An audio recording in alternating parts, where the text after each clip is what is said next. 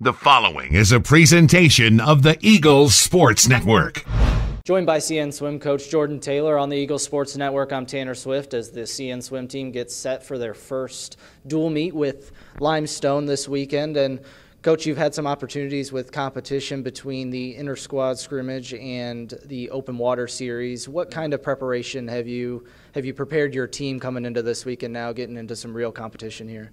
Um, as far as this weekend, it's uh, it's our first stepping stone of the season. Essentially, uh, really excited to open up our season with Limestone. Um, a, a coaching staff that I know really well, we're, we're really friendly with. Um, they provide a really good competition. Um, we enjoyed having them here last year, and uh, we're looking forward to making the trip down there on, on Saturday.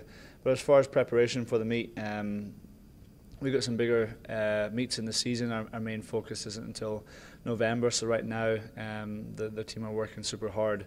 Um, arguably the, the, the the hardest they've kind of worked since I've been here in the last uh, three years, and they're getting pretty tired, especially this week, um, having multiple weeks of back-to-back hard, hard work, um, both in the weight room and, and in the pool, and. Uh, so we're going to this meet a little bit tired, um, but I've done that on purpose. I want them to race under fatigue, um, expect them to step up, um, execute great uh, racing skills even though they're, they're tired.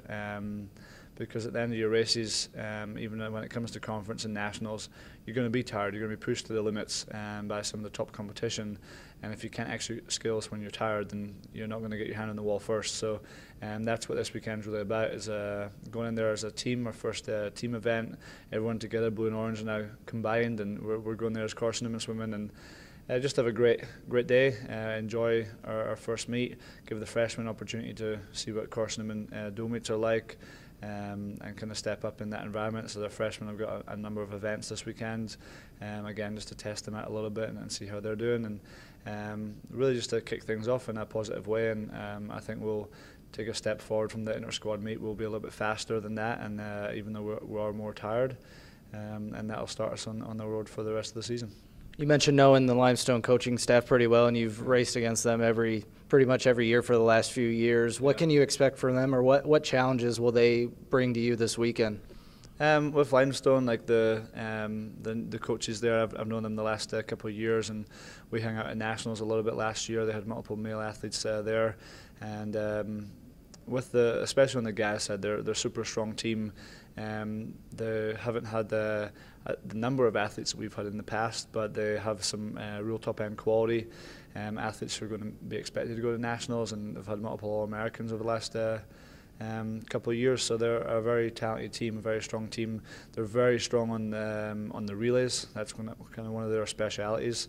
Um, and it's something that Carson-Newman has been known for over the last couple of years, especially on the men's side, um, as far as our dual meets and stuff are, are concerned. So, with a new freshman being added into those relays, I want to keep that tradition going and see if uh, our uh, our guys team can really step up. And, and that for me is, is a big focus this weekend is winning those two relays. We've got the 200 medley relay and the 400 freestyle relay. Um, I really love for our guys to get victories in both those events. Um, and then on the girls' side. Um, in the past, they haven't been as strong as our girls' team, and I mean, our girls' team ranked 16th in the country. There's um, not great opportunities for us to kind of really push them right now, but um, they're going there to execute the best they can. I, I really want them to go all out. I, I, don't care if they're going to win it by 25 or they're going to win it by half a second. I want it to be a real, uh, real battle all the way to the wall and push each other and, and take a step forward from what uh, the inter squad, inter squad meet, meet was a couple weeks ago.